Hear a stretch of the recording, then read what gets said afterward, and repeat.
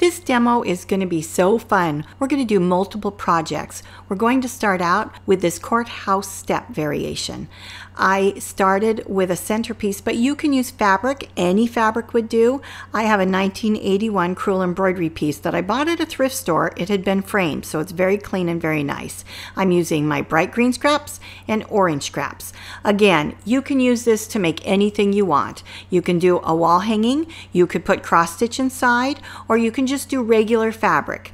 I'm choosing three different oranges and three different greens. I like to go lighter to darker. You don't need a whole lot of fabric to do this. Because I'm using stitchery for the center of this block, I'm cutting it half an inch away from the crewel embroidery. If it were cross stitch, I would do it with cross stitch.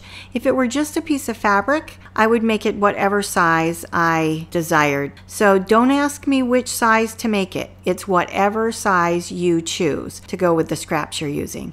Here's my first step. I've decided to do one and a half inch strips for my first step. I'm going to sew the orange on the top and the bottom. And this is directional because it's a bouquet. I measured how wide it was. However wide it is, that's how wide you make your strips so that they'll perfectly match. And then you sew them on. And that is your very first step. I chose to put the orange on the top and the bottom because it's the strongest color. Because this piece is going to be a wall hanging and it's just a look I prefer. So I put my strongest color in the direction of top and bottom if it's directional. Here's the first step of the green. So it also is one and a half inches wide because that's how wide I'm choosing to make my courthouse step. And again, I'm measuring, oh, that big. Okay, I'm going to cut them that big. And when it gets too big, you'll see what I do. But I cut it, get it ready, and I'm just going to sew that courthouse step on. In the first round, there are two colors for the first step. And in a regular pattern, you would just cut the next one to be one and a half and you'd keep it the same size. But because this is a variation, I'm going to have my steps get larger and larger as we go towards the outside. I could just add half an inch. I'm going to add a whole inch. So because my first one was one and a half, I'm making this one two and a half. It would also be an option to just have it two inches wide. So you just play with this and decide which look you want. You sew it on. This is so quick and so fast and such a great way to frame. Maybe you have an old cross stitch that you want framed or that you want to give away. This one is actually going to be a wedding gift and I had my daughter choose it. The truth is, I collect these from thrift stores because I can't stand that they're wasted. So if they're in great condition and beautiful, I just buy them. I have a whole bunch of them. I've sold them at vendor booths. I've had so much fun with these over the years. And they make great wall hangings, they make great table toppers, they make great everything. So here we are sewing our second round, pressing it. You can see that it's absolutely going to be beautiful. Because I'm going up by one inch every time, then I'm cutting this last round at three and a half inches, so it's extra wide. You could just make yours half an inch incrementally added to, just depends on the look you want, but mine's going to be a framed wall hanging to go on a wall. You notice that I'm no longer measuring, I'm simply laying it across the top of the strip, the three and a half inch strip, and making it exactly as wide as the piece. It's one of my tricks to not have to measure.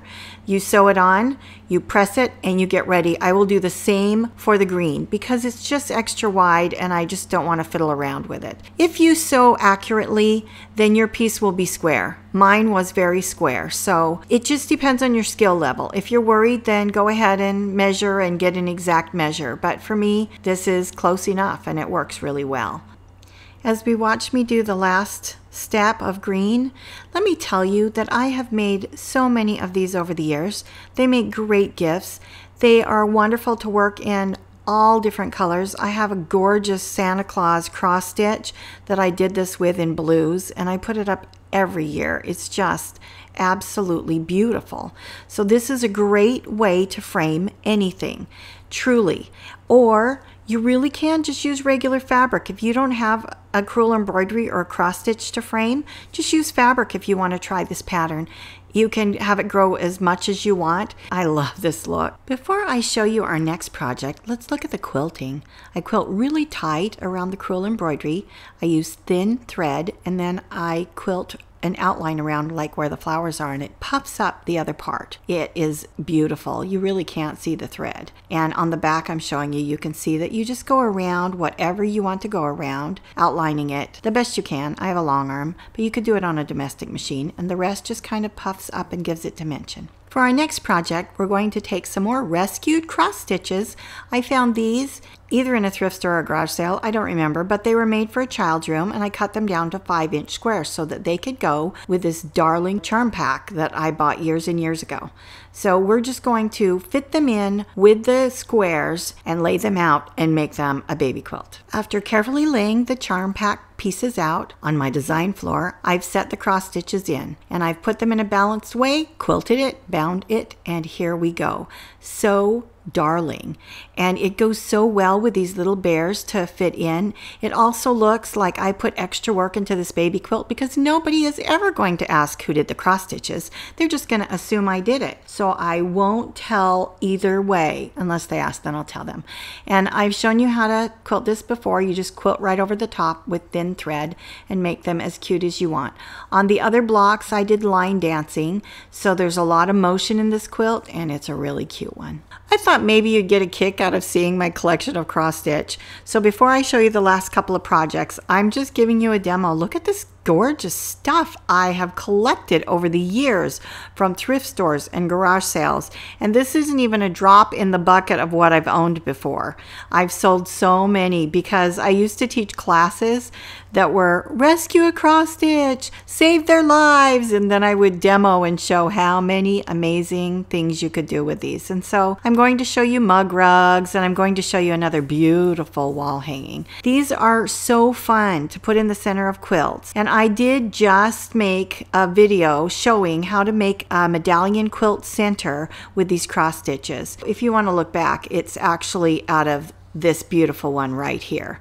And you can see it. You can see me make it. And so if you have cross stitches that are family heirlooms or whatever, and you've just been saving them, I say get them out and enjoy them. There is so much work put into these. I used to cross stitch in my life. I don't anymore. Here are a couple teeny tiny little cross stitches made into mug rugs with little scraps. One is bound and one I haven't bound yet, but they make great gifts for coworkers or just to put around to put your soda on. Here I like to drink soda out of a beautiful glass. Mug rugs, they're the best. This one was an Amish cross stitch and it was so gorgeous. You can take as much time and effort as you want to dress these babies up.